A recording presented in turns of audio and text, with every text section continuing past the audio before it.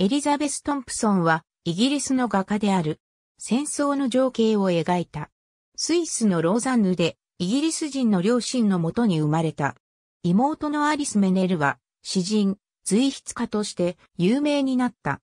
イタリアで育てられ、1862年から美術の教育を受け、1866年にロンドンのサウスケンジントンの女子美術学校で学んだ。1869年にフィレンツェに移り、ジュゼッペ・ベルッチに学び、フィレンチェの美術学校に入学した。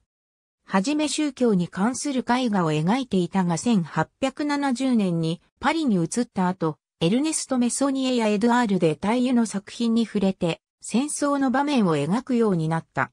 不仏戦争の一般の兵士やクリミア戦争で疲れ切った兵士の隊列を描いた天子のような作品を描いた。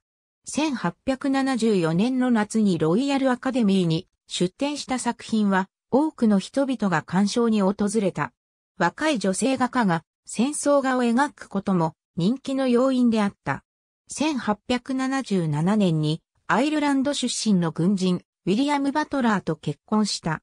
1879年にロイヤルアカデミー・オブ・アーツの巡回員にあと2票あれば選ばれるところまで近づいた。ロイヤルアカデミー創立時の2人の女性画家を除いて、女性会員は1922年にアニー・スウィナートンが巡回員に選ばれるまで出ていない。結婚後は軍人の夫と共に世界各地のイギリス植民地に赴任し、6人の子供を育てながら妹のアリス・メネルの著作の挿絵なども描いた。